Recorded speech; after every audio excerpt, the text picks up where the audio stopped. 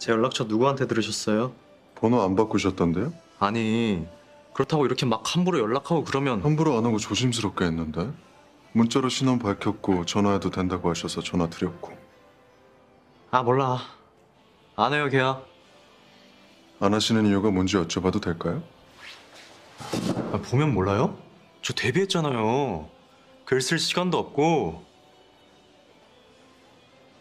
저 작가인 거 알려주면 곤란하거든요 곤란하세요? 당연하죠. 이게 컨셉 충돌이.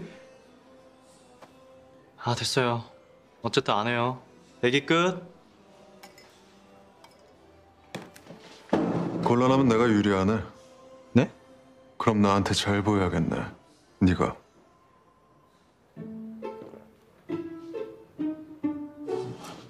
지금 뭐라고 인터넷도 SNS도 안 하고 연예인을 할 생각도 될 줄도 몰랐다는 컨셉 아닌가? 근데 그럼 박영이 알고 보니까 눈 떠보니 슈스 작가고 슈스는 무슨 뜻인지 알고 지은 거예요? 그런 거 모르는 컨셉이잖아 게다가 자기 스스로 필명을 귀공자라고 짓 지금 웃었어요? 비웃은 거죠 그거 와 필명 제가 지은 거 아니거든요 엄마가 지었거든요 아니 뭐 어울려요. 예, 어울리는데 아무튼 그 사실을 제가 누군가한테 말해버릴 수도 있잖아요. 작가님 곤란하시게. 지금 협박하는 거예요? 협박이라뇨 작가님? 회유죠, 회유.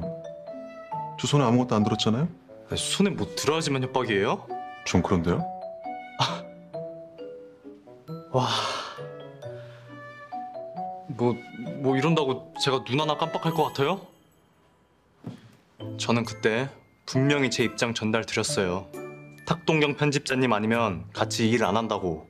아, 그거면 됩니까?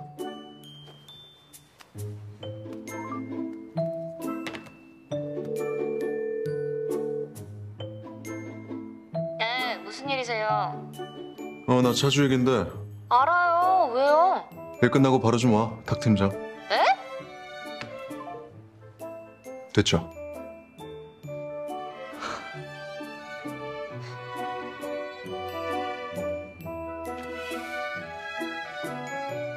되도록 좋은 답 주셨으면 합니다. 작가님, 그럼 좀 바빠서.